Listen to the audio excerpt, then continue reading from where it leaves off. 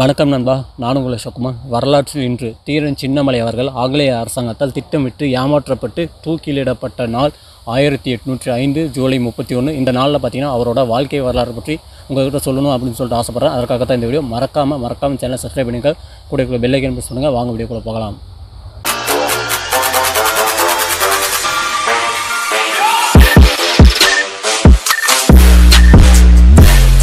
வணக்கம். ஆயிரத்தி எழுநூற்றி ஐம்பத்தி ஆறு ஏப்ரல் பதினேழு இந்த தேதியில் தான் நம்முடைய தீரன் சின்னமலை அவர்கள் தமிழ்நாட்டில் இருக்கக்கூடிய திருப்பூர் மாவட்டத்தில் இருக்கக்கூடிய காங்கேயம் பகுதியில் இருக்கக்கூடிய ஒரு சின்ன கிராமம் மேலப்பாளையம் அப்படின்னு சொல்லப்போகக்கூடிய ஒரு சின்ன கிராமத்தில் பிறந்தவர் தான் நம்முடைய தீரன் சின்னமலை அவர்கள் அவருடைய இயற்பெயர் அவருடைய உண்மையான பெயர் அப்படின்னு பார்த்தீங்கன்னா தீர்த்தகிரி அப்படின்றது தான் அவருடைய உண்மையான பெயர். அவருக்கு சின்னமலை அப்படின்னு சொல்லப்போகக்கூடிய அந்த பெயர் வந்ததுக்கான காரணம் அப்படின்னு பார்த்தீங்கன்னா மிகப்பெரிய வரலாறு அப்படின்னு தான் சொல்லி ஆகணும் ஏன் அப்படின்னு பார்த்தீங்கன்னா அப்போது அவர் இருந்த காலகட்டத்தில் என்னாச்சுன்னு பார்த்தீங்கன்னா தமிழ்நாட்டில் இருக்கக்கூடிய அந்த கொங்கு நாடு அப்படின்னு சொல்லப்போகக்கூடிய அந்த பெரும்பாலான பகுதியில் பார்த்தீங்கன்னா மைசூர் அரசாங்கத்தின் கட்டுப்பாட்டு கீழே இருந்துச்சு. ஸோ அவங்க வந்து என்ன பண்ணான்னு பார்த்தீங்கன்னா அங்கேருந்து பார்த்தீங்கன்னா இங்கேருந்து மக்கள்கிட்ட வரிப்பணம் வசூலித்து அங்கே மைசூர் மாநகரம் வந்து நடத்திட்டு இருந்தாங்க. ஸோ இந்த விஷயம் பார்த்தீங்கன்னா நம்முடைய தீரன் சின்னமலை அதாவது நம்முடைய தீர்த்தகிரி அவர்களுக்கு வந்து பிடிக்கல. ஸோ என்ன பண்ணாருன்னு பார்த்தீங்கன்னா சிவன்மலை சென்னிமலை அப்படின்னு சொல்லுவாங்க. அந்த ரெண்டு மலைகளுக்கும் இடையில் தான் பார்த்தீங்கன்னா இந்த வரிப்பணம் வந்து கொண்டு செல்வாங்க அந்த பாதையை வந்து இவர் பிளாக் பண்ணார். பிளாக் பண்ணிவிட்டு பிளாக் பண்ண தீர்த்தகிரி அவர்கள் வந்து என்ன சொன்னார் அப்படின்னு பார்த்தீங்கன்னா மைசூர் மாநகரத்தை நீங்கள் நடத்தணும் அப்படின்னா இங்கேருந்து மக்கள்கிட்ட வரி பணம் வசூலிச்சுட்டு போயிட்டு தான் நீங்கள் வந்து நடத்தணுமா? ஸோ நான் சொல்கிற அந்த வாசகத்தை வந்து நீ அப்படியே போய் அங்கே சொல்லு அப்படின்னாரு. என்ன வாசகம் சொன்னார் அப்படின்னு பார்த்தீங்கன்னா வரி பணம் எங்கே அப்படின்னு சொல்லிட்டு உன்னுடைய அதிகாரி கேட்டால் அதுக்கு வந்து நீ என்ன சொல்கிற அப்படின்னு பார்த்தீங்கன்னா தமிழ்நாட்டிலேருந்து நான் கொண்டு வரும்போது என்னாச்சு அப்படின்னு பார்த்தீங்கன்னா சிவன்மலைக்கும் சென்னிமலைக்கும் இடையில் சின்னமலை அப்படின்றவன் பறித்து கொண்டான் அப்படின்னு போய் சொல்லு அப்படின்னு சொன்னார். அந்த ஒரு வார்த்தைக்கு அப்புறமா தான் பார்த்தீங்கன்னா இவருக்கு சின்னமலை அப்படின்னு சொல்லக்கூடிய ஒரு பெயர் வந்தது. அதனால தான் பார்த்தீங்கன்னா பின் வரக்கூடிய காலங்களில் தீரன் சின்னமலை அப்படின்னு சொல்லிட்டு எல்லாராலும் அழைக்கப்பட்டார்.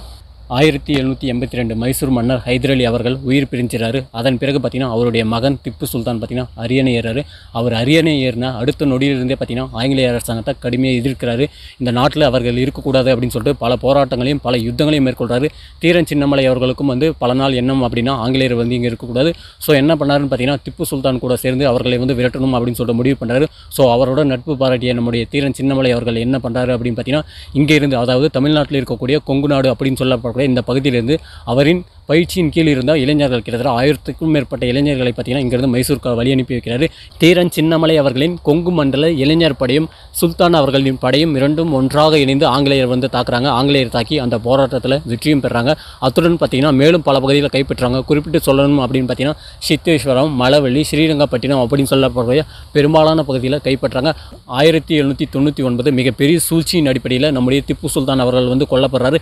என்ன ஆகுதுன்னு பார்த்தீங்கன்னா அரண்மனையில் இருக்கக்கூடிய ஒரு சில ஒற்றர்கள் என்ன பண்ணுறாரு பார்த்தீங்கன்னா அவருக்கு தெரியாமல் சீக்ரெட் நுழைவாயில வந்து திறந்து விடுறாங்க. அந்த சீக்ரெட் நுழைவாயிலின் வழியாக வந்த ஆங்கிலேய படைத்தலைவிகள் இவரை தாக்கி இவர் வந்து அந்த இடத்துல வந்து உயிர் பிரிஞ்சாரு இந்த ஒரு விஷயத்தை கேட்ட நம்முடைய தீரன் சின்னமலை அவர்களுக்கு பார்த்தீங்கன்னா கடுமையான கோபம். ஏன் அப்படின்னா ஒரு போராட்டம் ஒரு யுத்த காலத்தில் வந்து இந்த மாதிரி வந்து நேருக்கு நேராக மோதி கொண்டு இருந்தால் கூட பரவாயில்ல.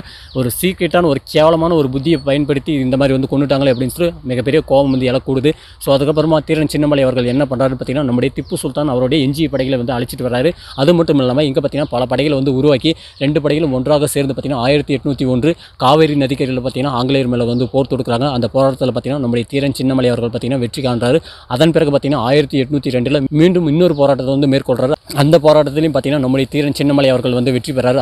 அதன் பிறகு ஆயிரத்தி எட்நூற்றி நாலு ஆங்கிலேய படை தளபதி கர்னல் ஹெர்லி அப்படின்றது பார்த்தீங்கன்னா நம்முடைய தீரன் சின்னமலையை தாக்கத்துக்கு முற்படுறான். இந்த ஒரு விஷயத்தை கேட்ட உடனே நம்முடைய தீரன் சின்னமலை அவர்கள் பார்த்தீங்கன்னா போராட்ட காலத்துக்கு வராரு.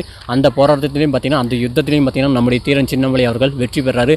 அதன் பிறகு தான் என்னாச்சு அப்படின்னு பார்த்தீங்கன்னா மிகப்பெரிய சூழ்ச்சியின் அடிப்படையில் பார்த்தீங்கன்னா நம்முடைய தீரன் சின்னமலை அவர்கள் வந்து கொல்லப்படுறாரு.